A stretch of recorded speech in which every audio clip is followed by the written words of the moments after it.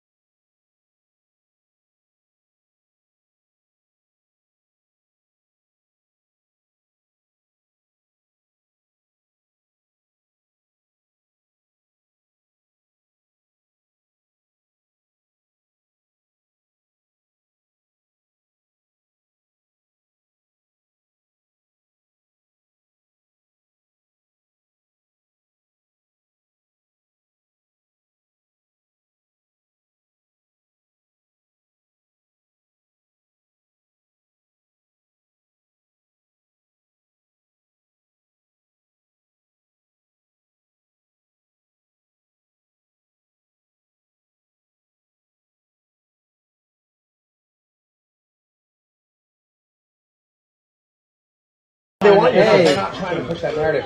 What's up, bro? Just for whatever. Oh, Medusa head on me.